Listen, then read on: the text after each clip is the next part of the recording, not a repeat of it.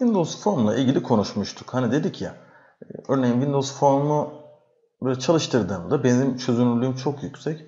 Çözünürlüğü düşük bir makinede şu ekran bir anda saçma sapan bir görüntü oluşturabiliyor yani. Kocaman şöyle şuralarda görünen bir hal alabiliyor. Ee, ve yapı olarak da e, e, eski bir e, mimariye sahip.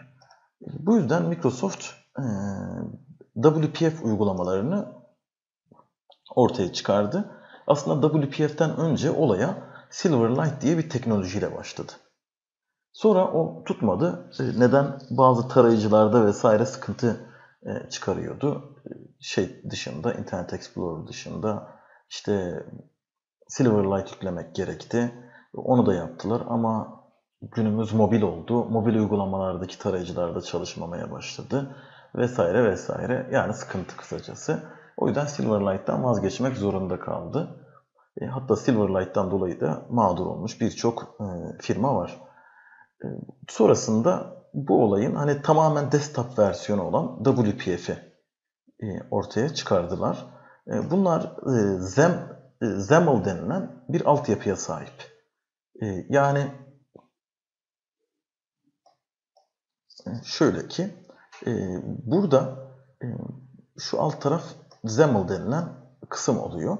Yine tasarım aynen web uygulamalarında olduğu gibi. Örneğin ben burada bir şey eklediğim zaman e, onun gerekli olan XAML kodu buraya yerleşiyor ve siz buradan e, çalışmalar yapabiliyorsunuz.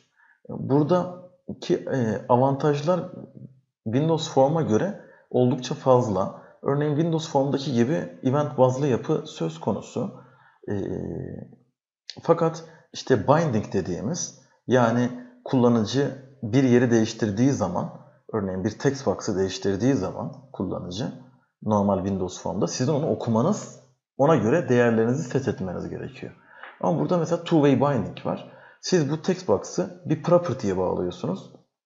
Onlar e, iki tarafta da mesela eşleniyorlar. Buradan değiştirdiğinizde property değişiyor, property değiştirdiğinizde burası değişiyor gibi. Böyle bir izleme, observable dediğimiz bir tasarım deseni e, söz konusu. O açıdan ciddi avantajları var. Ve bunun dışında çözünürlüğe göre e, rahatlıkla hareket edebilen, çözünürlüğü, çözünürlüğün ne ol, olduğuyla ilgili tasarım kendisini e, değiştirebiliyor. Aynen web uygulamalarında olduğu gibi. E, Windows Form'da bu sıkıntı maalesef var. O yüzden WPF'de e, Windows Form uygulamalarından sonra alternatif olarak kullanılan bir uygulama türüdür.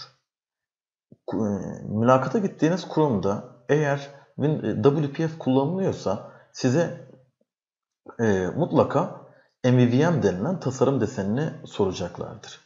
MVVM, şöyle şuraya e, yazayım, sileceğim buradan. Şöyle MVVM. E, aslında şöyle bir tasarım desenidir. 3-4 harften oluşur ama sanki 4 şeyi vardır, bileşeni vardır. Hayır 3 bileşeni vardır. Model, view, view model. Bu tasarım desenini mutlaka sorarlar. Yani kurumda eğer e, WPF kullanılıyorsa mutlaka bu model view, view model desenini soracaklardır. E, dolayısıyla hani bu tasarım desenini de gitmeden önce e, araştırmanızda fayda var. Fakat olay çok nettir. Mesela MVC bilenler için hızlıca eşleştireyim. Zaten model view controller aynı mantık bakın. Benzer yani. %100 aynı değil bu arada. Ona benzetebilirsiniz. E, model e, tamamen bizim e, nesnelerimizde örneğin barındırır. Örneğin iki tane tablonun join'li halinin versiyonu. Öyle müşteri tablosu var, sipariş tablosu var. Join sonucunda ortaya çıkacak nesne bizim modelimizdir. View görüntüdür arkadaşlar. Şurası view mesela. Yani şurası view. Dolayısıyla demo. View model ise bu ikisinin arasındaki bağlantıyı kuran ve e, çeşitli tasarım desenlerini beraberinde getiren e, bir mimaridir. Dolayısıyla gitmeden önce bunlar hakkında fikir sahibi olmanızda fayda var. E, en önemli MVVM şeylerinden, implementasyonlarından, kısacası frameworklerinden bir tanesi yine fikir sahibi olun diye söylüyorum gitmeden bir bakın. E, Prism denilen bir tane e, şey framework oldukça popülerdir. E, buna da yine bakabilirsiniz arkadaşlar. Eğer gittiğiniz kurumda WPF kullanmıyorsa.